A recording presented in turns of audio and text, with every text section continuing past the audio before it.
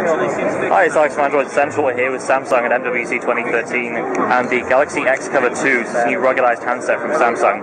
Uh, Jelly Bean handset, so we've got 4.1.2 on here. Uh, but what's really interesting is the design. So it's uh, ruggedized, it's water resistant, IP67 certified, so it means it can stay in the water for um, longer than you can. Well, yeah, 30 minutes, uh, up to one meter, I think, is the uh, is the official spec. Uh, so we've got quite a nice design here. It's kind of textured around the back and on the sides. Uh, we've also got a dedicated camera button, which is going to be a big deal for using this for underwater shooting. Um, looks like you can take the back off here. We've got a, a lock mechanism you can stick a screwdriver in. Uh, obviously, this is waterproof. You've got all the seals around the ports as well.